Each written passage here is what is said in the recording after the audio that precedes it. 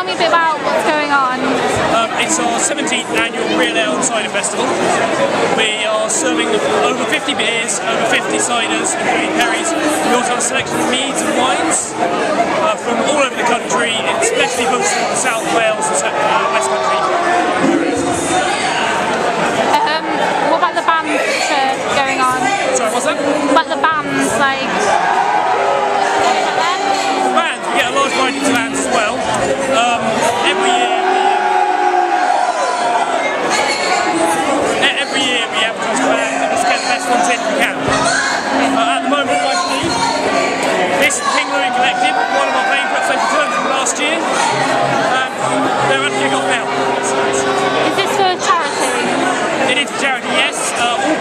events this year will most likely be going to Tŷ Hafan.